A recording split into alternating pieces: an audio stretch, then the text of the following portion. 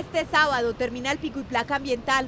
No habrá más restricciones a industrias y transporte de carga.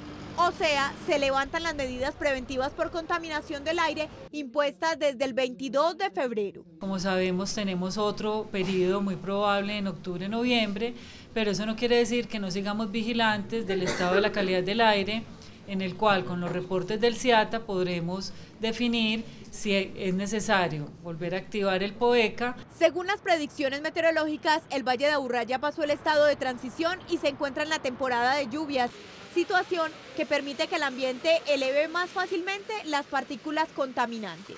Lo primero que tenemos, más importante, es justamente esas lluvias nocturnas que ejercen un papel de lavado. Ellas, al caer todas las gotas, lavan los contaminantes y, por otro lado, esa misma remoción de la humedad de la atmósfera hace que la radiación sea mejor en las horas de la mañana. Las medidas, según las autoridades ambientales, fueron efectivas en un 85%.